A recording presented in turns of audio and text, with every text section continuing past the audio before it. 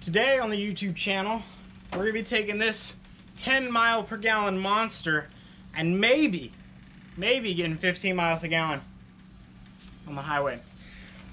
The carburetor on this is an 850 Holley carburetor. It's a double pumper. The engine size is a 7.4 liter or 454 and uh, it drinks gas. And right now, with gas being the price it is, I'll take all I can get. So today I'm going to be replacing the main jets in this and showing you how you can get a little bit better gas mileage out of your Holley carburetor. We're going to be replacing a couple of things today. In addition to the main jets, we're also going to be replacing the metering block because the metering block on there does not have a vacuum spark advance port. And uh, I would like to be able to use that because I have a little bit more timing than I want initially. And uh, I just want to be as, avoid detonation as much as I possibly can so I can continue to run the 87. So we're going to be installing this as well as changing the jets that are in there, which I believe are 86s, and I'll be able to confirm that when we get it out. So now, let me show you exactly how we're going to do that. First things first, you're going to want to go ahead and if you have an electronic fuel pump, shut the fuel pump off and run the carburetor out of gas. On mine, I have glass sight bowls or glass sights in the carburetor so you can actually see that there's no gas in it. You don't have to undo a plug, which is very convenient. After that, you're going to be able to leave your fuel inlet hooked up and all you have to do is remove one, see if we can get it in there, one, two, three, and four right there bolts. And then that entire, what this is referred to as the bowl, the entire bowl will come off of the carburetor and you'll be able to get to this black part, the metering block.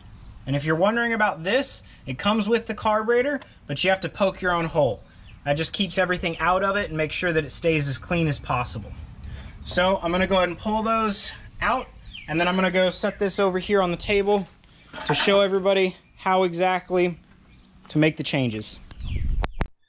So as you can see, I'm now going to go ahead and remove the four bolts that go through the bowl and the metering block and into the body of the carburetor. And then I'm going to remove the metering block. So now I have moved the metering block out of the way. That is what it looks like underneath there.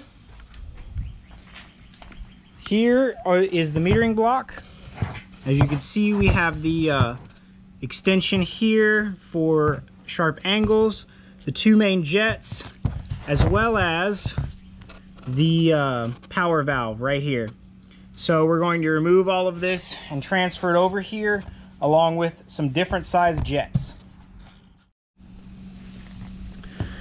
Okay, so here's what we've changed.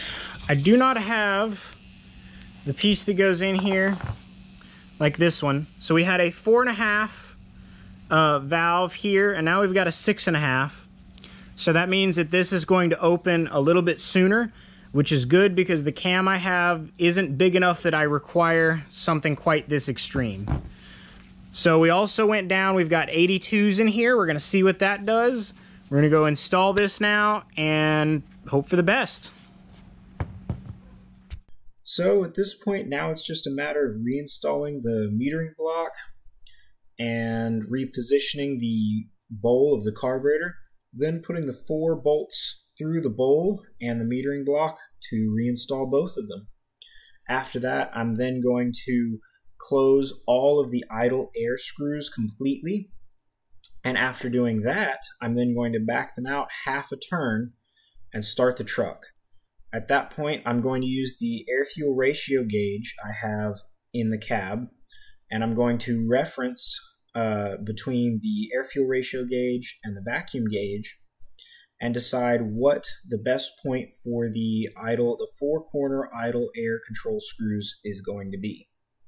Once I've determined that, I'm then going to install a vacuum tube between the distributor and the metering block check for timing, and then adjust the timing to what I want it to be, which ended up being about uh, a total of 30 degrees with an initial of 8 degrees of timing uh, in order to keep it conservative and make sure that I'm able to run the 87. You'll see when I start it, you'll probably notice it on the fuel gauge rather than the belts because of the sped up footage. So, uh, without further ado, I'm going to drive this for about a week and then film an outro and let everyone know how it's running. All right, so after a week of driving this truck, after changing the jets and the carburetor and sort of fiddling with them, I ended up settling on a set of 80s in the primary and I went ahead and changed both power valves from fours to the 6.6 and a halfs. So they originally had like I think four and a halfs in them and now they have six and a halfs. Changed both of those and uh, with running the 80s in the front in the primaries, I am getting about uh, 13 and a half to one AFR, which I could go a little bit, little bit more, but I kind of like the safety of it because sometimes it it swings. It's a carburetor, so it's not the most precision instrument. And I'm also not the best carburetor tuner in the world, but I am getting about 14 miles to the gallon uh, highway, strictly highway. Uh, I have seen 15, but that was literally from one gas station on the highway to the next gas station on the highway. No city driving. Whenever you do combined, I'm getting roughly 10 to 12, which before combined city and highway driving, I was getting like 8 to 5.